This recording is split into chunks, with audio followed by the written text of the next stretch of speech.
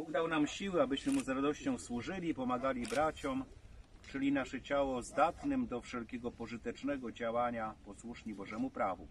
Bóg niewątpliwie błogosławi także czas wolny, jaki przeznaczamy na duchową rozrywkę, ćwiczenie ciała. Kiedy bowiem zabiegamy o tężyznę ciała, łatwiej osiągamy duchową równowagę, a przez to nasze życie, współżycie z ludźmi staje się bardziej braterskie i pogodne. Módlmy się. Ciebie Boże nieustannie wielbimy, bo kierujesz wszystkim przedziwnie. Ty mądrze wyznaczasz ludziom pracy i obowiązki, pozwalasz im w zmęczeniu ciała i duszy szukać pokrzepienia i szlachetnej rozrywki.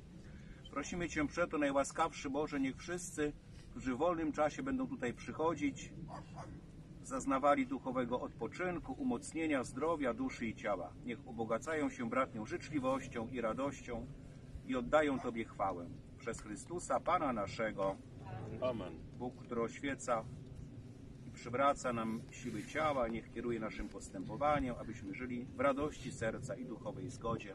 W imię Ojca i Syna i Ducha Świętego. Amen.